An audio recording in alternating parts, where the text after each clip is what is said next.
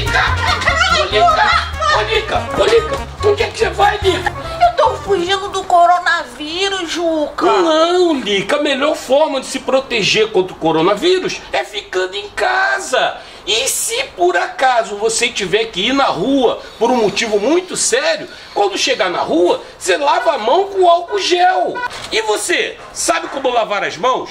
Ah, então vou ensinar para você. Olha só, você põe o sabão na palma da mão, depois você esfrega bem as palmas das mãos, aí você lava entre os dedos, ok? Lava os polegares dos dois, das duas mãos, esfrega a ponta dos dedos para tirar sujeira embaixo da unha, que é muito importante.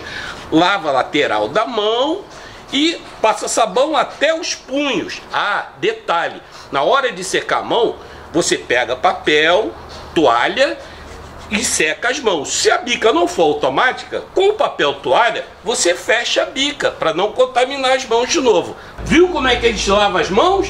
Aprendi sim, Juca, mas a gente tem que ficar longe um do outro um metro e meio. Viu? Aprendi.